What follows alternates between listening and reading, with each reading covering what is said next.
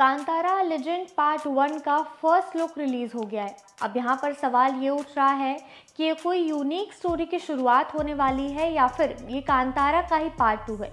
क्योंकि कांतारा फ़िल्म की सक्सेस के बाद इसके अगले पार्ट का फैंस को ज़ोर शोर से इंतज़ार था। अब फाइनली आज कांतारा का पार्ट वन यानी कि कांतारा लेजेंड चैप्टर वन का फ़र्स्ट लुक रिलीज़ कर दिया गया है, जिसमें ऋषभ शेट्टी के लुक को ऑडियंस खूब पसंद कर रही है।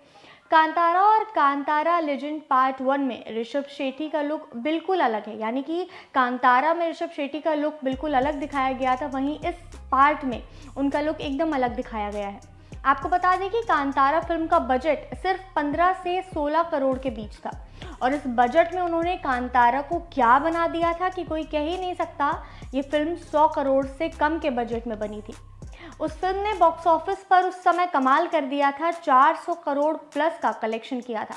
अब फ़िल्म मेकर्स के लिए सबसे बड़ा एडवांटेज यही है कि फैंस काफ़ी पहले से और काफ़ी बेसब्री से इस पार्ट का इंतज़ार कर रहे हैं। अब देखना यह है कि दूसरा पार्ट यानी Kantara legend chapter one box office पर क्या कमाल करेगा। लेकिन उससे पहले फैंस को इंतज़ार है इस फ़िल्म के ट्रेलर का। क्या आपने कांतारा देखी थी? और आप अब कांतारा के इस पार्ट के लिए कितने एक्साइटेड हैं?